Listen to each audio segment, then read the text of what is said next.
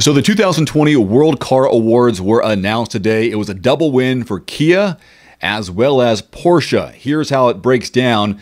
The World Car of the Year goes to the Kia Telluride.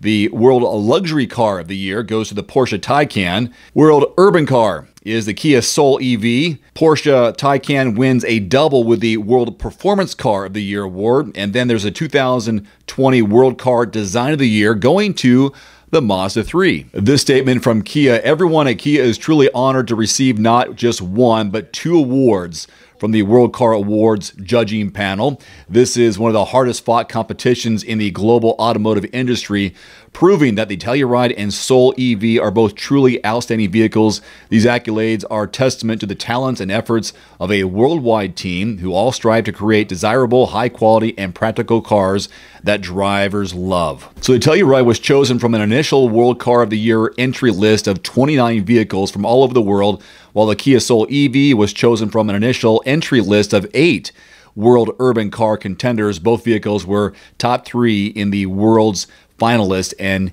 in their respective categories as announced on March 3rd. And now this statement from Porsche the Porsche Taycan was designed with a clear purpose to show that an electric car could provide the performance, driving pleasure, and everyday comfort and usability that characterizes every Porsche. We are very proud that the International Jury of World Car Awards believes that we have succeeded. This is the sixth win for Porsche in the World Performance Car category, having previously won in the class in 2017, 14, 13, 12, and 06.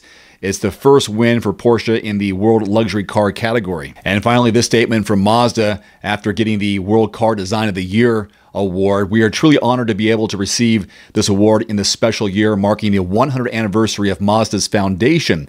We will continue providing our customers with unique products, designs, technologies, and experiences. The World Car Awards, by the way, were officially launched in 2004 to reflect the reality of the global marketplace as well as to recognize, reward, and inspire excellence, leadership, and innovation in a rapidly changing automotive industry. They also state the awards are intended to complement, not compete, with the existing national and regional Car of the Year programs. If you want to see more videos and photos and press releases from the organization, visit worldcarawards.com. Until next time, I'm Dave Erickson with Everyman Driver. Thanks for watching. See you next time. Adios.